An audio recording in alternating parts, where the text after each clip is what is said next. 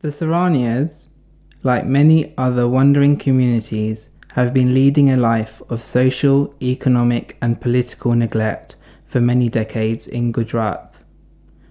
After migrating from Rajasthan, they were not welcomed by the locals and had to live on the outskirts of the cities or villages. Formerly a warrior community, they have now been reduced to selling bullocks, sharpening agricultural tools, or becoming daily wage labourers. More than 200 Saraniya families reside on the fringes of Bagasara in small hamlets. The huts are made of wood, dry grass, and plastic sheets built over their bullock carts. The hamlets lack basic amenities like toilets, bathrooms, electricity, drainage, and water supply. These families migrate for eight months in a year. For the remaining four months, they stay in Bagasara. During this period, it becomes difficult for them to make ends meet. Hence, majority of the family members, including the children, work in nearby areas as daily wage labourers. Bal Kelavani Mandir is a Bagasara-based organisation that has been working with the Saraniya community for more than a decade, with the objective of providing them an identity and a better life. The first step in this direction was taken by establishing an activity centre for children in the community. Children were trained not only to read and write, but also in basic manners and health and hygiene through activities, stories, ball balgits, and games. In 2013, with the support of Shishukunj International Projects, a daycare school was established for these children the first generation learners now attend school from 8am to 5pm Monday to Saturday. With interesting activities, learning became fun for them and children were able to develop a positive outlook towards a new life.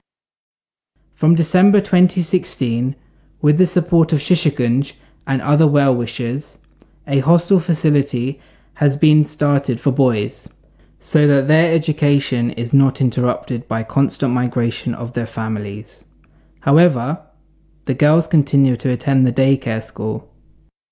At the same time, Bal Kelavani Mandir also works with the community to address issues like getting voter ID cards, street lights, and other amenities.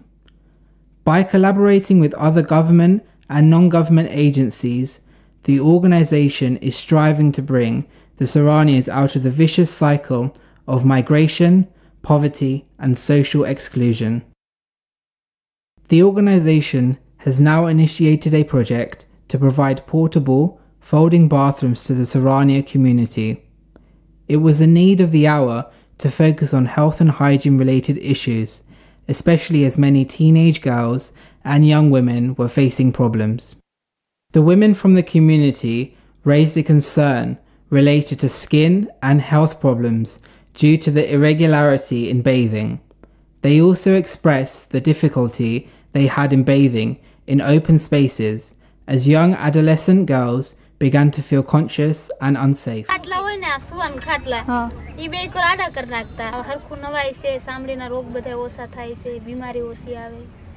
Thus, an initiative has been taken by the organisation to provide them with folding bathrooms that they can carry with them whilst migrating. અમારા વિસ્તારમાં bathroom નથી એટલે અમે દરરોજ નાહી નથી શકતા અને ખુલ્લામાં નાહવું પડે ને પછી ખાડામાં ને એમાં નાહવું જવું પડે પછી રોગસારો થાય This facility will not only take care of the safety of the women, but also encourage the community members to take baths regularly, by which they can avoid many skin and health problems.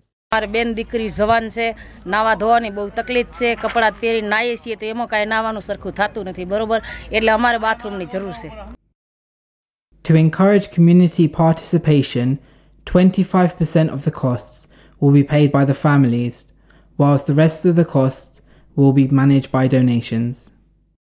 મારી ઈચ્છા છે કે અહીંયા આપણે પચીસ bathroom મુકાવીએ તો કારણ કે અહીંયા જોવાની દીકરીઓને નાવા ધોવાનું બહુ થાય છે કારણ કે એ કપડાં પહેરીને આવે તો એને કેવું ફરી શરીરમાં ખંજવાળ આવે Like little drops of water that make up a mighty ocean, such small contributions will help the Saraniya community to lead a healthy, disease-free life.